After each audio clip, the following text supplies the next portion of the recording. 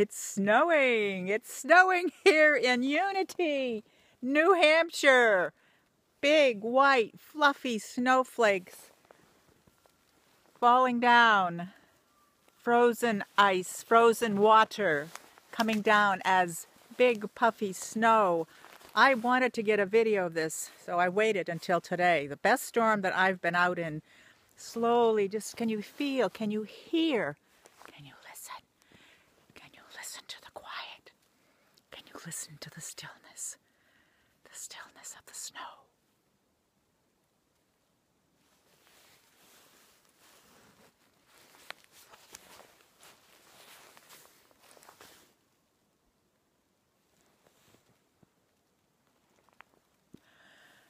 I love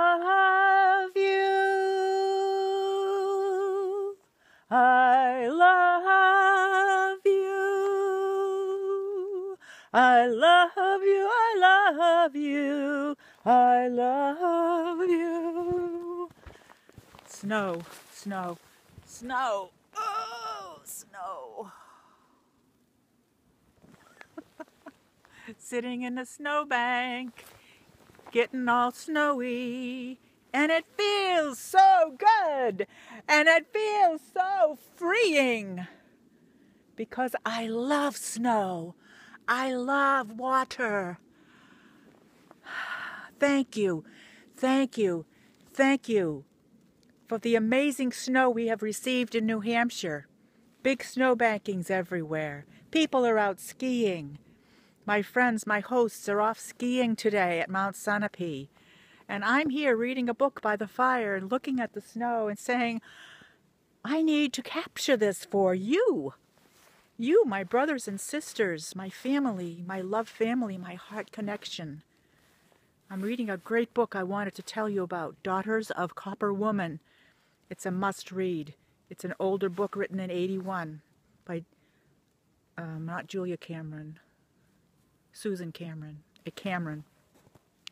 It's an ancient story from the Northwest peoples, peoples of the Northwest of the United States continent. Read that book. It's an it's an origin story of the female origins and how times have shifted into the male dominance, and and how the old woman is always here with us. She's always here with us. If we can connect to her and, and ask her for her wisdom, and her wisdom will come in is is coming in. I love you. I love you. I love you. I open my heart to you, my fellow my fellow human beings, my brothers and my sisters. You are all my relatives as I am here in, in New Hampshire in hibernation, but came out of my cave just to feel the snow and smell the snow and ah, let the snow land on my mouth, land on my body, come into my hair, and let you see and feel and know the beauty of this snow, the beauty of this water, this sacred water. I love this water. I love this water so much. And the more you can love your water, that love, that vibration, that consciousness that you give it of your love will flow into the waterways everywhere. So I invite you to come with me on your own way, in your own journey, on your own path, to love your water everywhere. Pray for your food before you eat it. It is full of water. Pray for your body before you drink water. Pray for your water as you drink it and allow it to nourish you. Water is the best medicine. Clean, fresh, spring water, clean water is the best medicine.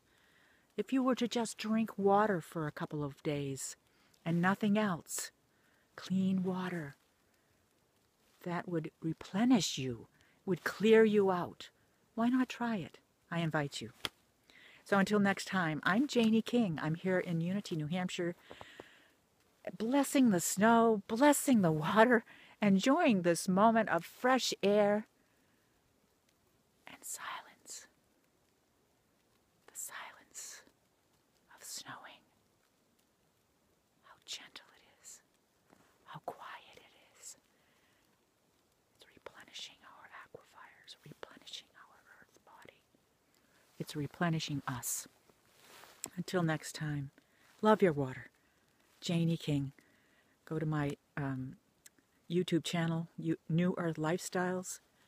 or my Facebook page, janie.king.37, or my website, www.janeekinghearthealer.com.